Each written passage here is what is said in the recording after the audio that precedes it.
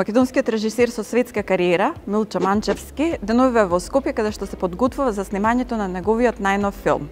Денеска и мој гостин. Милчо, добар ден. Добар ден, како сте? Одлично, вие? Одлично. Се навикнавте ли малку на Скопје по животот во Њујорк? Па да, мислам, ја одам напред назад често, така да не, не е толку голема разлика. По самата најава кажав дека се подготвувате за снимањето на вашиот нов филм. Кајмак почнува да се снима на пролет И тоа ќе биде црна комедија која што ќе се снима претежно на локации во Скопје. Во оваа фаза од подготовките на филмот, од пред подготовките, што можете да ми откриете? Дали веќе имате одбрано некој од главните улоги, можеби? Не, се уште не. Ам, работам на а, рани фази на кастингот со кастинг директорката Милка Анчевска и со продуцентот Јане Ќортошев. Се уште почнуваме. Обично, обично работиме многу широк кастинг и, и потоа е, правиме втор круг, трет круг, па негде до шести, седми круг. Сега сме само на почеток, имаме некои начални идеи, меѓутоа секогаш има изненадување. Значи јас на кастингот му приоѓам со а, со отворен ум, со отворено срце, ако некој испадне а, се појави човек што не сме го знаеле воопшто ќе си ја доби улогата. Значи само треба занет и треба енергија соодветна на ликот. Така да по прашање на кастинг сме се уште во рани фази, а, локации исто така во рани фази, се уште се работи, се работат финансиите, кеш флоу, оние неинтересни работи. А во однос на самото сценарио, освен што е црна комедија? Па, црна комедија, Ова е приказна за тоа што се случува кога си го следиш срцето.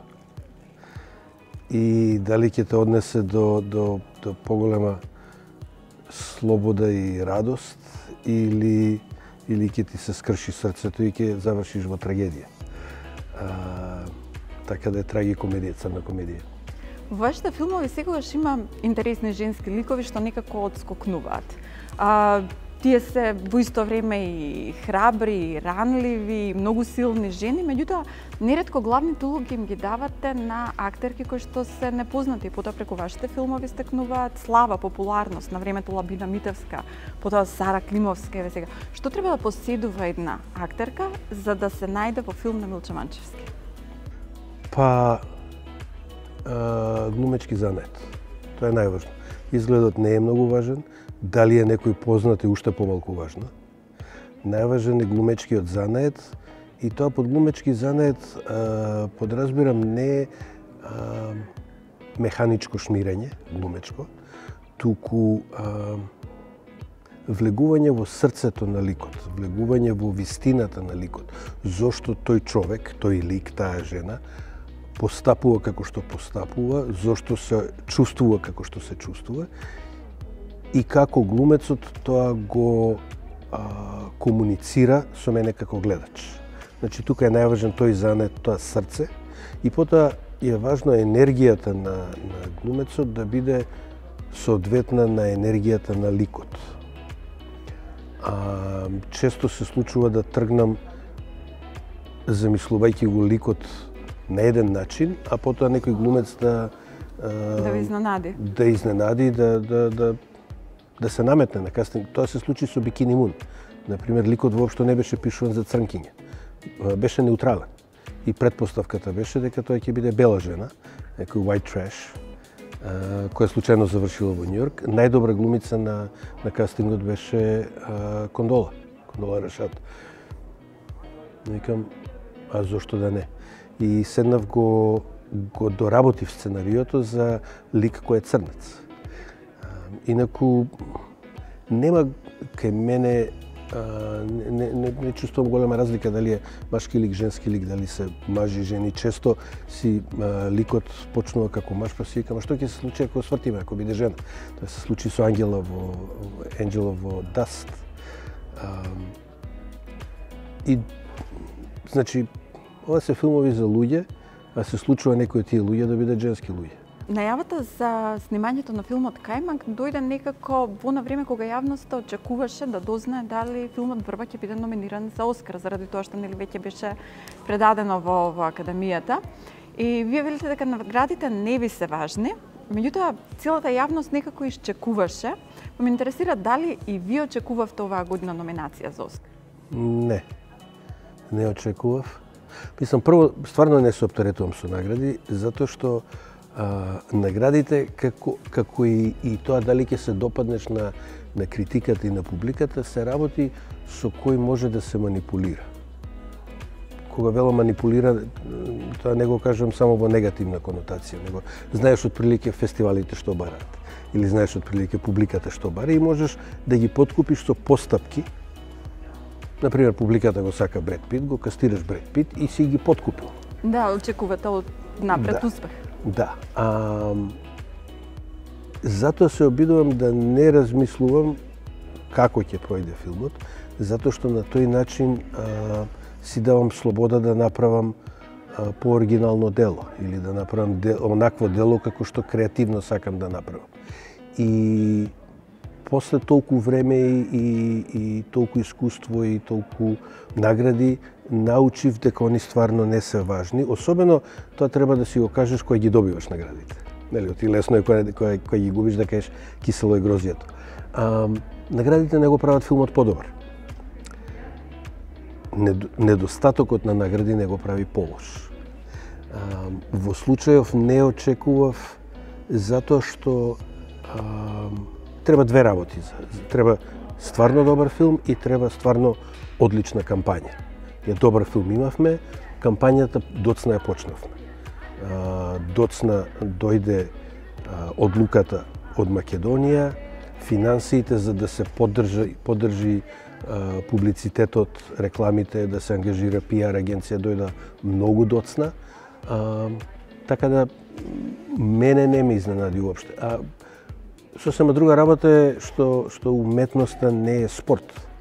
Знаеш, не мислам не е Да, не може да не зависи секогаш од вас што ќе направите вие како ќе се покажете. Не само тоа. Да, апсолутно, ама и сега како да ги споредувам дали е персона подобра од не знам Рублјов.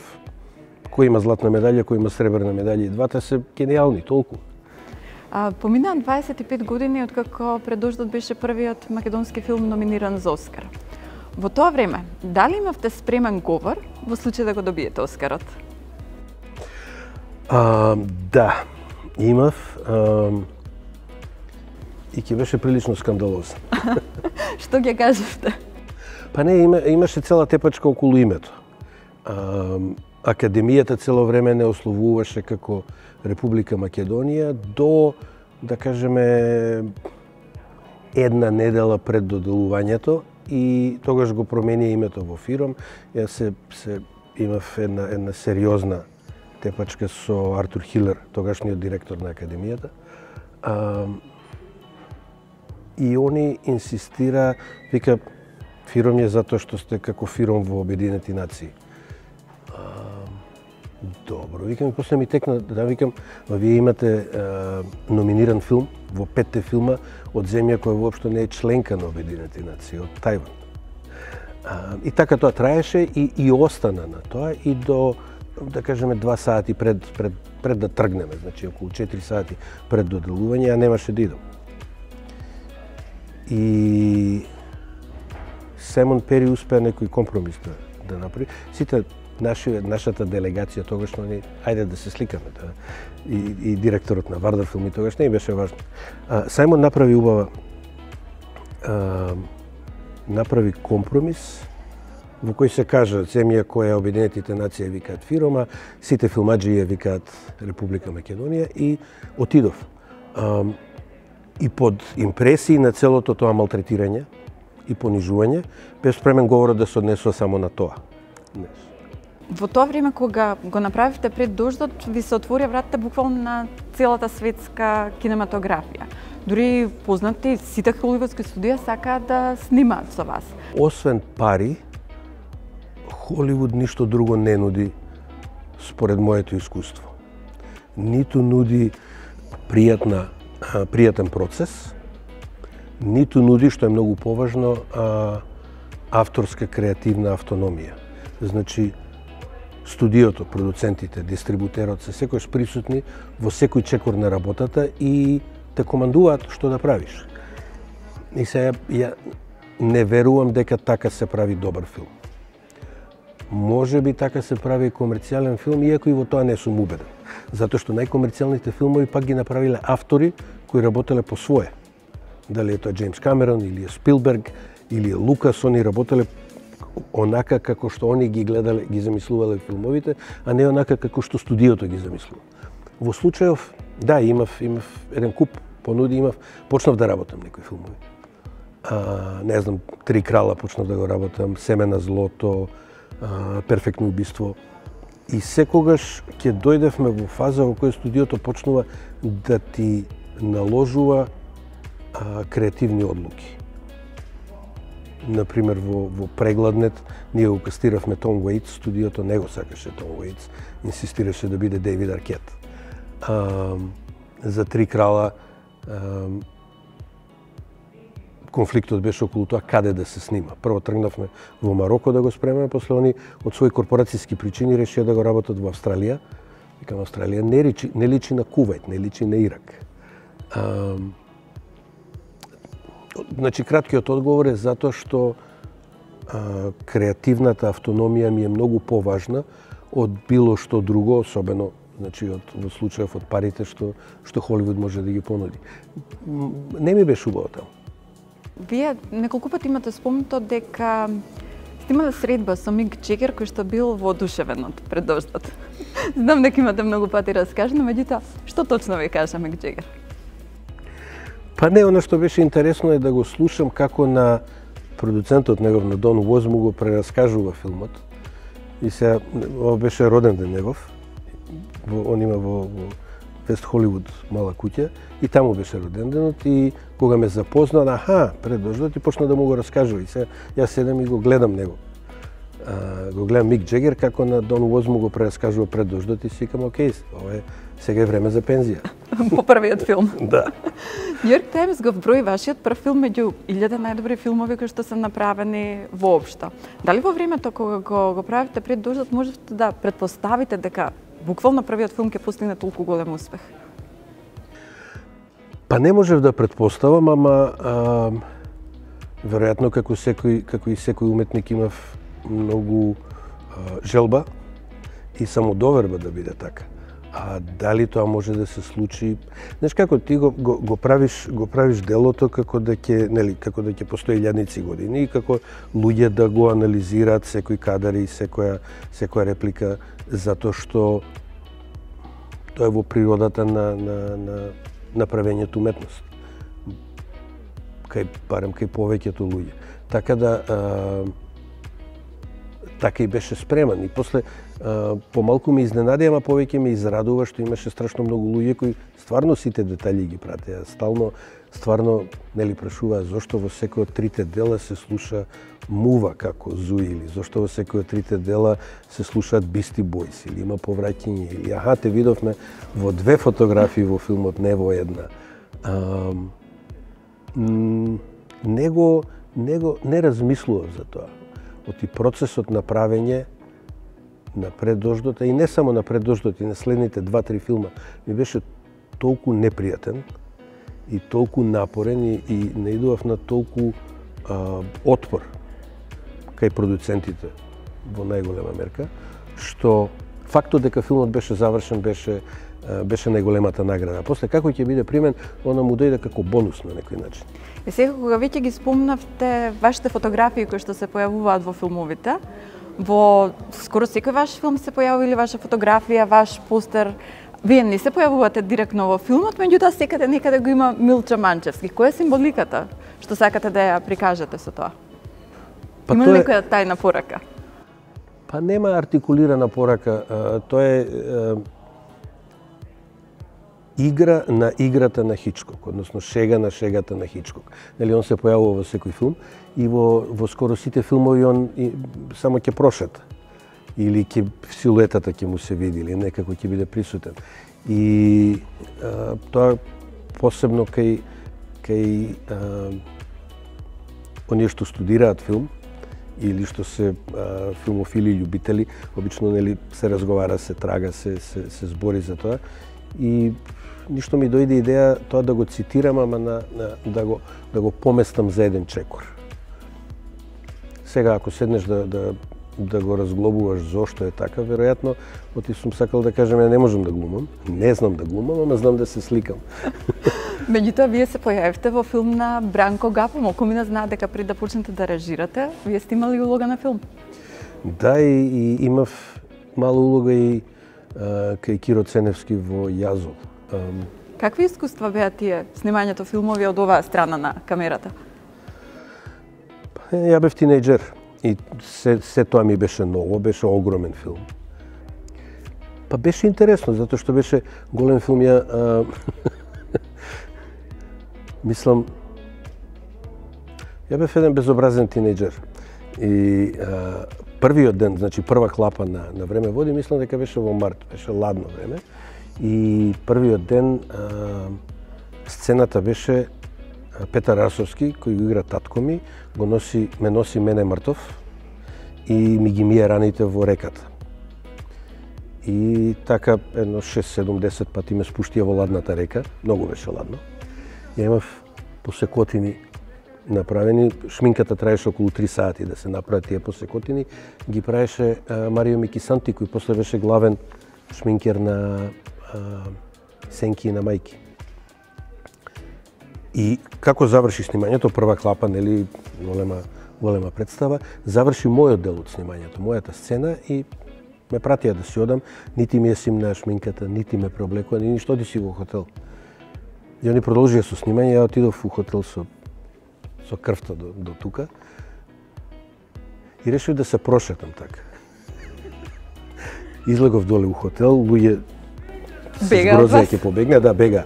И поминав цела струга ја поминав, никој не, само еден еден човек, постар човек ми вика момче добар си? А викам у реду, се, нема проблем. Никој не приде да праша да помогне, отидов у болница и него сестри не гледаат што треба, викам имам еден трн од снимањето, ми ги извадија трнот и отидов дома. Значи, интересни спомени од тоа време. Не е тајна дека пред да почнете да ражирате, љубов е било пишувањето. Вистина ли е дека првиот роман сте го напишале кога сте биле во трето оделение? И дали денеска постои некаде копија од тоа? Дали може да се прочита што пишува во првиот роман на Милчо Манчевски?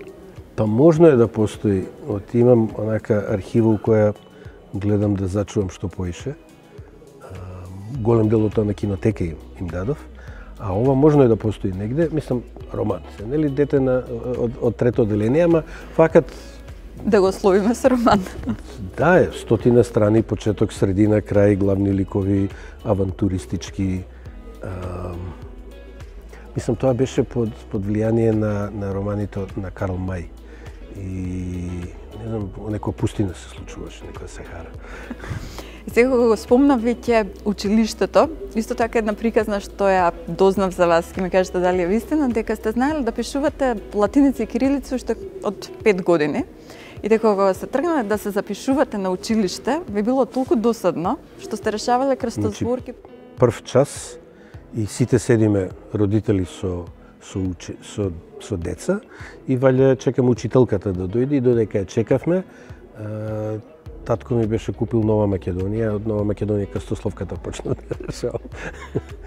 да, е, уствари, ја обожавав да, да, да читам, да пишувам и бев окружен со возрастни и, и тоа правев, правев по цел ден. одам на, на Facebook, мислам дека објавивте фотографија од некое дамнешно време кога ја примате наградата за најдобар расказ на политика, која што ви ја доделил Ивандрич. Се сеќавате ли на средбата со, со Нобеловецот? Па да, да. Памтам дека беше во зградата на политика на најгорниот спрат. Во Белград? Во Белград на, на Македонска 29. А, тоа за прв пат со авион патував. Мислам у 6 сабајле дека леташе тоеш Скопје Белград. И чекавме пред канцеларијата на на ЈАД, нели автобус до аеродром да не понесе 4-5 луѓе, малци и дојде еден полицаец.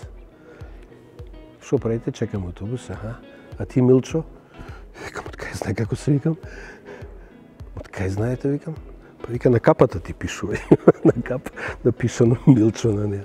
А, па да, импресивно беше, страшно, страшно интересно. Андрич а, беше веќе прилично стар и, и тивок и онака повлечен. А, Бранко Чопич обожаваше да раскажува сите, се собравме околу него, И Десенка Максимовиќ била таму. Да, ако... и Десенка Максимовиќ беше и Мира Алечковиќ.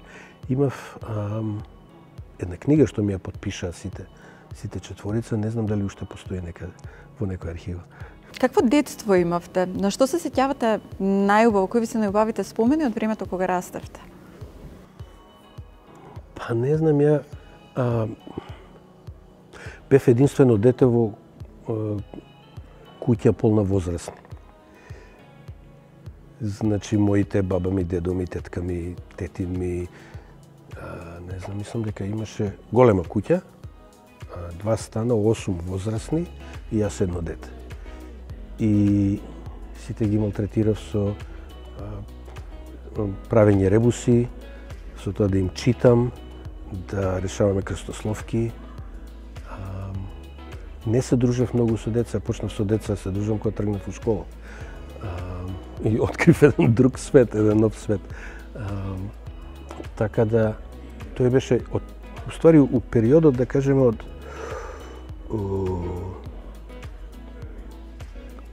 тргнав во школа и од, од, од тој момент, да кажеме, следните, значи целата осмолетка, следните 7 години, скоро сите што, што живееја во таа куќа, освен тетка ми умреа. Така да тоа беше исто дел од тоа, од тоа растење. И Како го а... минавте тој период? Ви беше ли многу тешко? Па да. Да, ама тоа е, тоа е тоа што го знаеш. Немаш со што да го споредиш. И сега тоа после долгорочно нуди своји преверзно звучи да се каже, ама нуди своји предности. Вие сте урбан градски лик, целата младост имате поминато во центар, во, во градски парк, тука сте живееле, тука сте се дружиле. Со кого се дружевте во тоа време? Каде излегувавте? Кои ви беа омилените места кај што сакавте да го поминувате времето во Скопје? Па, не знам, мислам, тогаш кај се излегуваше, валјда беа тие пред Ванила Камел. А, имав еден другар, а, мислам се уште сме другари, ама он живее во Берлин, Ванчо Ѓошевски, со него, он е глумец, играше и во Врба.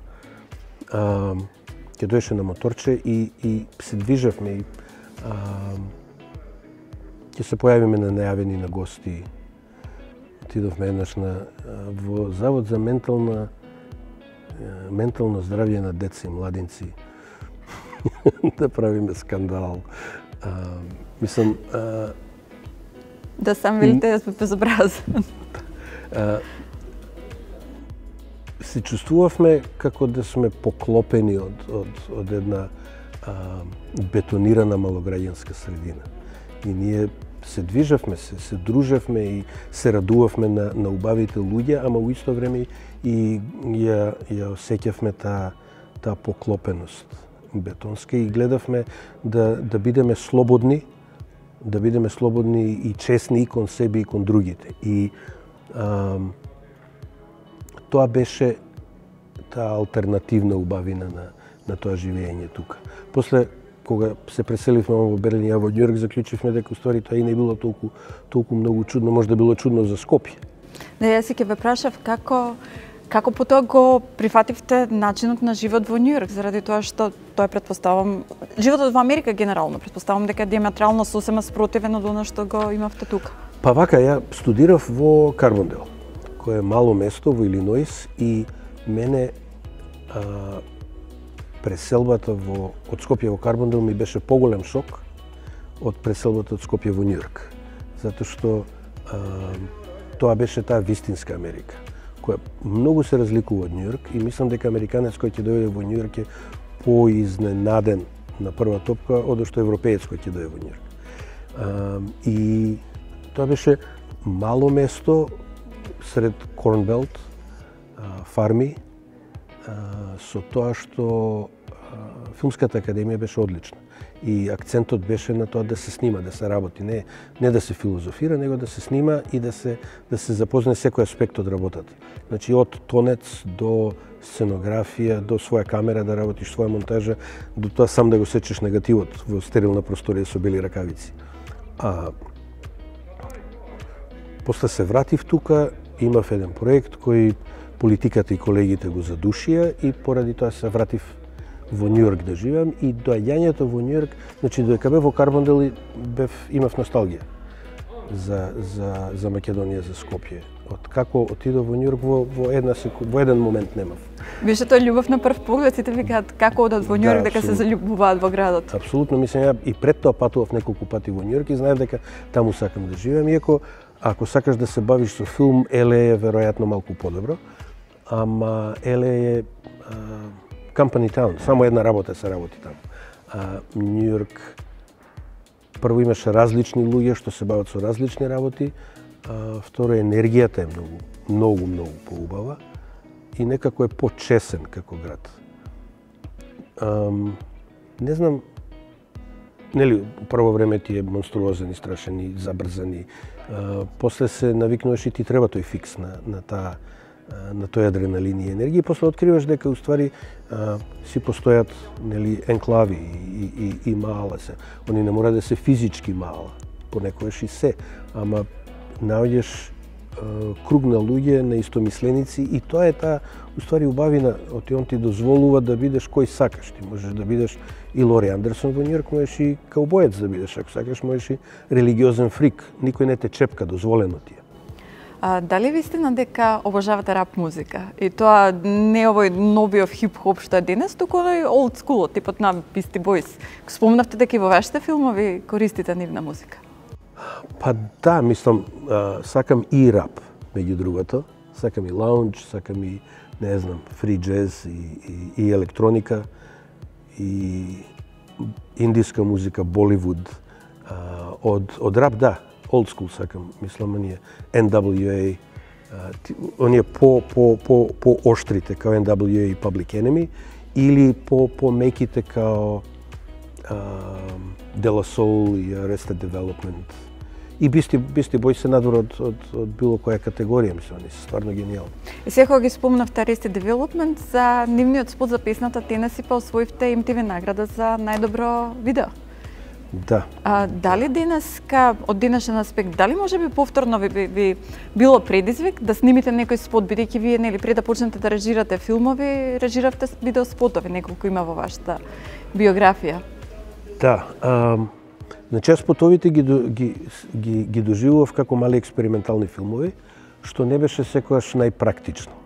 Затоа што а, грамофонските куќи и менеджментот на, на бендовите обично сака им беше најважно само убаво да биде отсликан отсликан пејачот и да не се филозофира многу. Така да имаше малку повуци потегни околу тоа какви ќе бидат спотовите. А, ама ова беше под влијание на Кенет Енгер, на, на, на експериментални амерички филмови од, од 70-ти. И постојат и такви феноменални а, музички спотови кои се кои може да функционира, функционираат и како мали експериментални филмови. Ја направив, не знам, едно 3-40 спотови, валјда. Да, би снимал, зашто не, ама треба да е добра музиката и треба, како и во све што работам, да имам а, тотална креативна автономија, да имам final cut во тоа што го правам. А, независно тоа дали е, дали е реклама или е спот или е филм, мислам, Микеланджело правил реклами за црквата, нели? Како си поминавте на родиненот на Мадона, каде што ве однесе вашиот пријател Вилем Дефо? Не беше Бог знае што, мислам, она, она беше Забава, како забава. Да. А, не може да чуам гласно, беше она. I'm honored. Што? I'm honored. I'm very honored to meet you.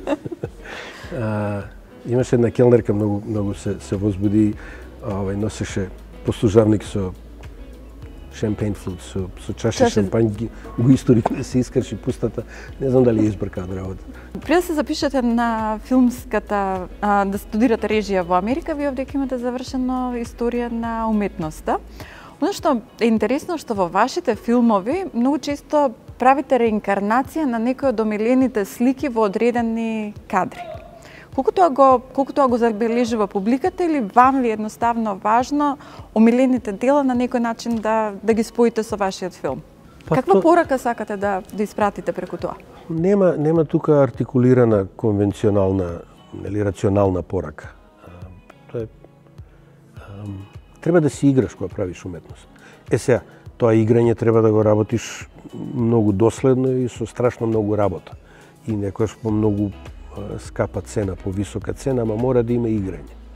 И реконструкција на, на, на, на кадри или на платна во филм е дел од, дел од таа игра, а, за која сметам дека, дека се совпаѓа со, со филмот. Не може да само така натртено да го шлапнеш во, во филмот, него треба да биде дел од, дел од ткивото на, на филмот. А, обично е во соработка со дизајнерот Девид Манс ги, ги дизајнира сите мои филмови и со директорот на фотографија. А, понекогаш е цитат, не знам дали цитат на, на, на, на Рембрандт или на Јозеф Куделка или на Картија Бресон. А, повеќе повеќе една една весела игра, еден диалог. Тука да, тука има диалог со публиката, има кој ќе го фати кадров. А, вие живеете на релација Скопје Њујорк веќе подолго време, меѓутоа и за двата града некако важи, нека напишено правило дека сега да одите со вашиот велосипед. И сега, дали во Њујорк се уште го возите вашето старо поне? Или го сменивте велосипедот? Да, да, не, не, таман работа. Мислам, а, тоа е, да, Рог, Лјубљана, Пони, плаво, тегет, старо. А, го наречев да ми го најдат кога живее во Бруклин во една стара точкара, побарав дали може да најдат фолдинг байк, стар фолдинг байк, и они го најдоа, затоа што се увезувале во Америка во 70 години пони, и после ги забраниле затоа што сметале дека не се безбедни, дека она што се превиткува на, на, на средина, дека се крши. И ете тој небезбеден точак постои веќе 50 години. А како реагираат њурчани кога ќе ве видат со такво мало? Њорчани се не се навикнати, ништо не реагираат. А, постојат и други folding bikes што ги има низ Њујорк, не многу. А, дали се Данон или обично се некои нови и многу скапи, а, пони ретко, ретко гледам. А, и одлично функционира. И мислам дека а, веројатно нема да сакаат да го украдат затоа што е што е мал пони. Вие и во Њујорк и во Скопје често знаете да играте баскет. А, вашите пријатели во Скопје ми кажа дека сте одличен плеймейкер. Меѓутоа, што е во... Како е во Америка, кога ќе се најдете пред посилен противник, пред некој висок, не знам, брз црнец кој што шета со топката, како се снаоѓате еден на еден? Се трудиш. Се трудиш. Ако Победувате? Ако, па понекогаш да кој ќе победи, он ќе, ќе му честиташ. А, редко играм еден на еден, ти е досадно. Обично 3 на 3 е најубаво. Они сакаат фул корт често да се игра, што мене ми е помалку интересно, ама и тоа го играме. А, се, некоја прекрасна, баш онака слобода е кога играш баскет, као да си на овој у друг свет. Кој е Васко Гонзалга?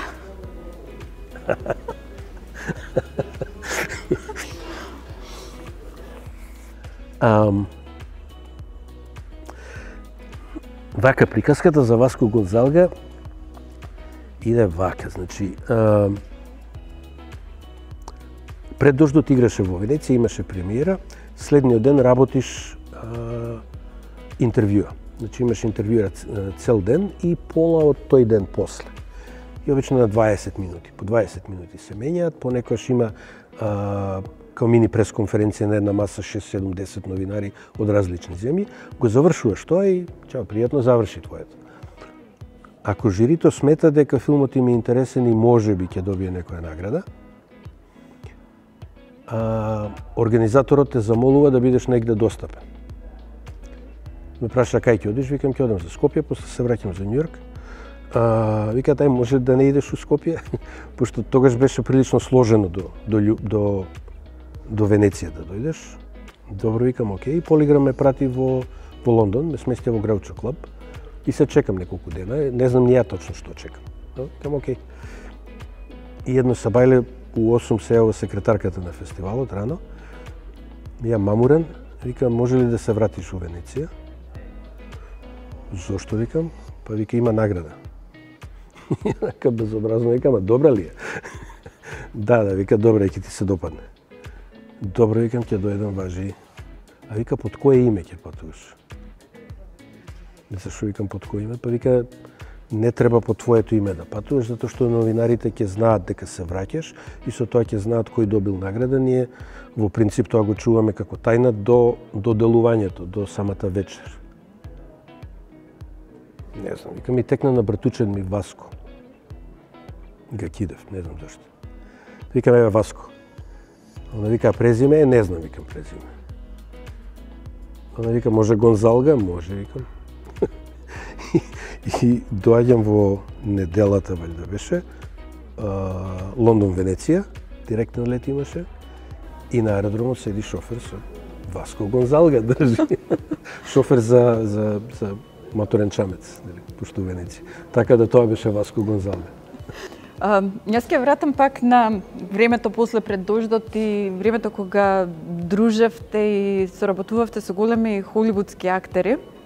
Дали постои некој со кој што и денеска комуницирате или можеби некој актер за кој што би сакале да напишете улога за да се појави во ваш филм?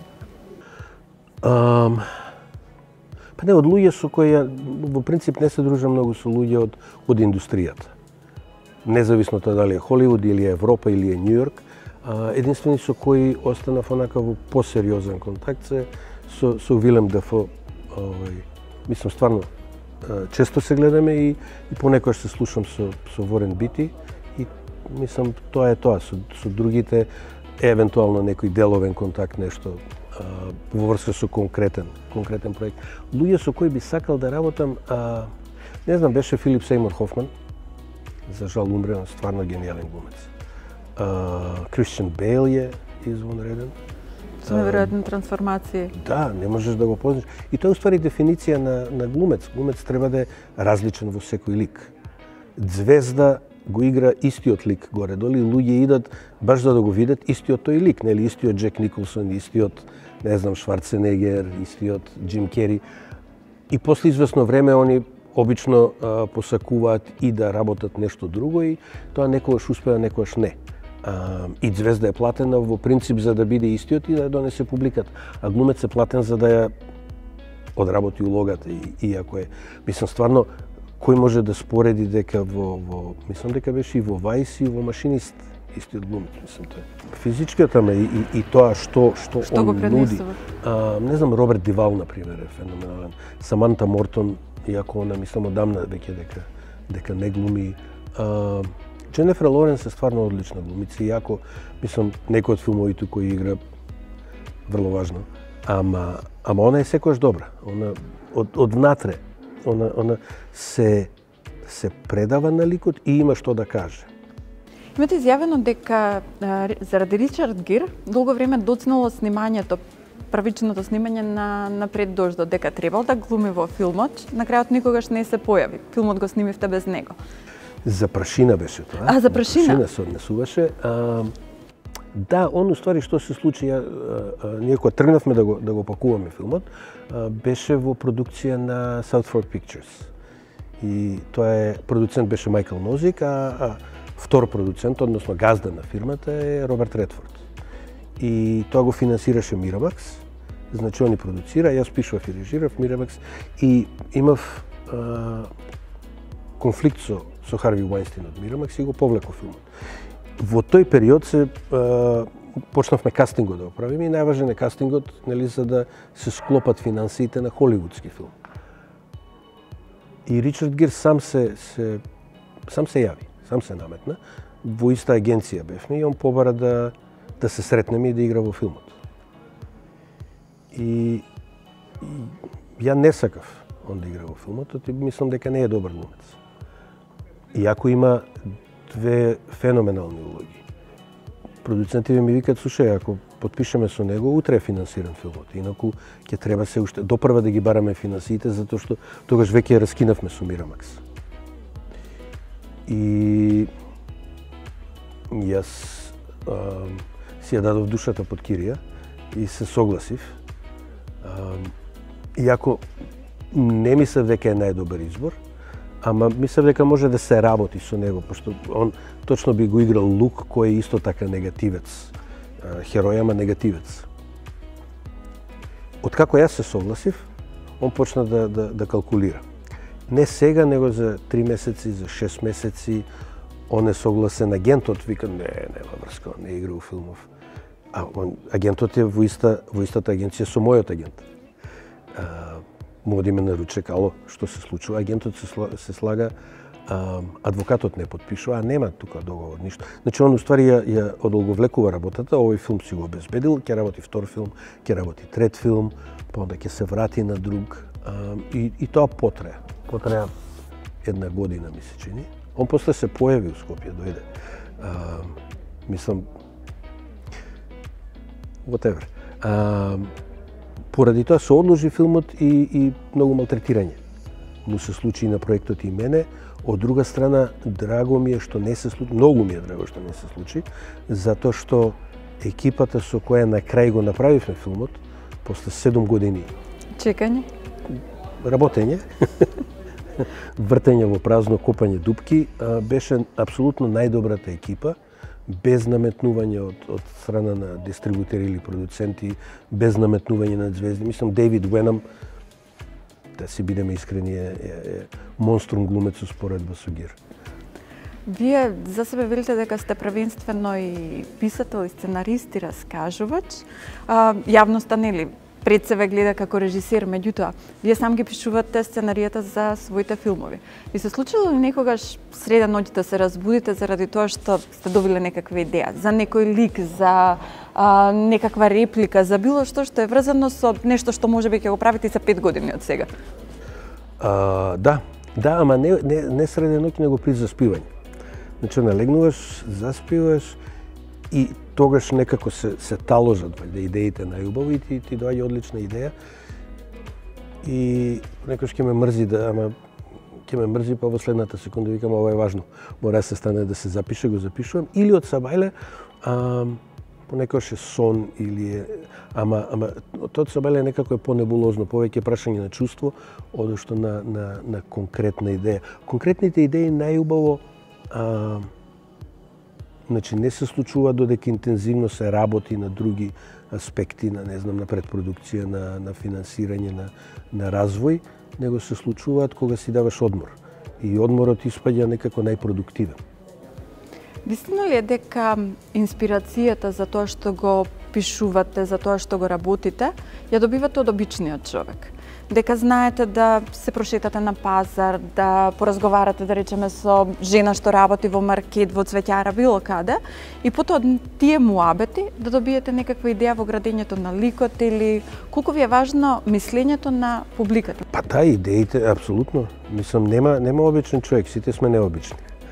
А, и, и она што го научив со време е дека најоткачените приказни, најневеројатните, најбезобразните, се случуваат зад некои а, дотерани, угладени, досадни фасади, зад некои баракички во некои предградија.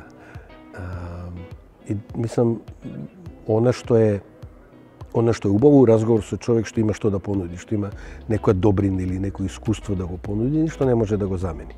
Така да мене ми е целото тоа многу убаво Независно тоа дали е дали тука се случува или а, не знам, негде по некоја вукојебина.